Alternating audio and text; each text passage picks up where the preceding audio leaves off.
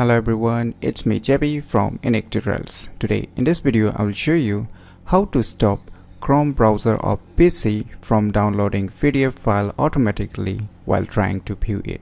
So without further more delay, let's begin. So firstly let me show you by opening the Chrome web browser.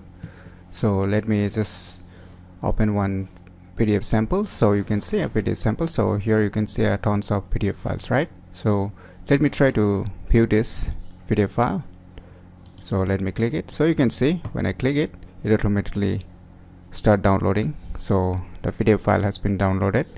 Rather than it show me or when I try to view it it automatically downloads it. So how you can fix this such kind of issues on your Chrome web browser? So for this you can see here the three dot icons on the right corner. So just click on it. Now you can see your option settings. Just click on it now under here on the left panel you can see uh, options privacy and security. Just click on it. And after that you can see on the right side here is options for site settings. Just click on it. And just scroll down below. And now at the bottom you can see our additional content settings right? Just click on it. And under it option you can see here options written as PDF documents. Just click on it now you can see here the option has been turned on. So just you need to turn it off.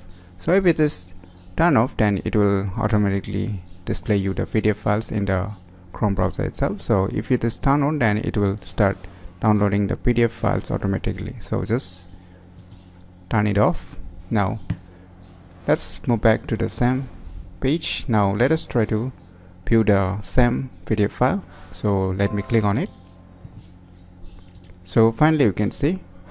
Now we can view the video file directly on the Chrome web browser rather than downloading it automatically. So just by going to this option and turning it off this option you can stop Chrome browser or PC from downloading PDF file automatically while trying to view it. So if you never known about these cool tricks then definitely you should try it out and if you find this video tutorial useful click on the thumbs like button and if you're new to our channel click on the subscribe button and lastly thanks for watching.